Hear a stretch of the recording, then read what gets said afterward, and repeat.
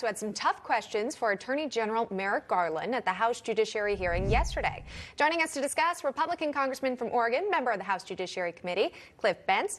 Uh, Congressman, welcome to the program. The hearing yesterday, when we were watching, it actually kind of got off to a rocky start when Congressman Jim Jordan wanted to play a video of those parents expressing concerns at school board meetings. That was shut down by Chairman Jerry Nadler. Why was it so important for Republicans to play that video for the Attorney General?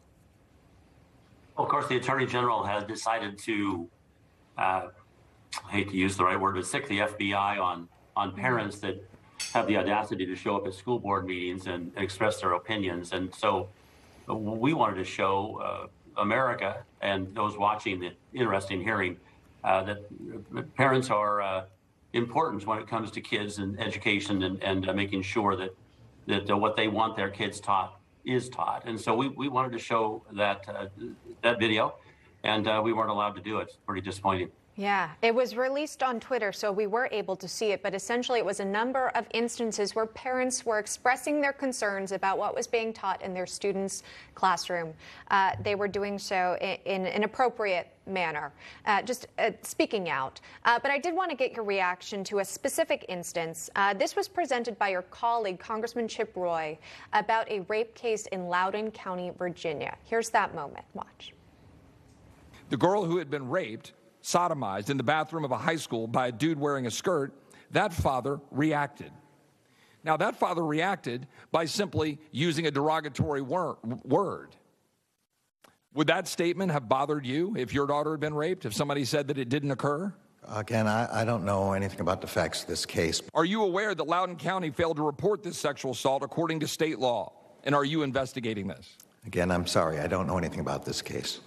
Are you aware that the Virginia General Assembly, run by Democrats, voted for and Democrat Governor Ralph Northam signed a bill allowing schools to refrain from reporting instances of sexual battery, stalking, violation of a protective order, and violent threats occurring on school property? Is the FBI investigating how this may conflict with the Violence Against Women Act or conflict with your own domestic terrorism uh, efforts? I don't know anything about the Virginia legislation. Congressman, were you surprised by the fact that the AG had not been briefed on this case in particular? No, actually, I was because I, I, had heard about the case, and uh, it's uh, shocking at so many levels. I don't blame the parent for that kind of response. Uh, I, I, really don't, and I was uh, uh, disappointed in, in, in that the attorney general didn't know about it. I, I would also say, if you look at the memo that the attorney general sent out uh, focusing the FBI's attention on parents, you have to ask why isn't that same degree of attention being given to so many other challenging issues that this country is facing? I mean, really, uh, the prioritization is uh, should be embarrassing, to be honest with you. Yeah. Uh, you yourself had five minutes to question the Attorney General yesterday, uh, and I know that they're very strict on that limited time. Were you satisfied with the answers that you heard from the AG?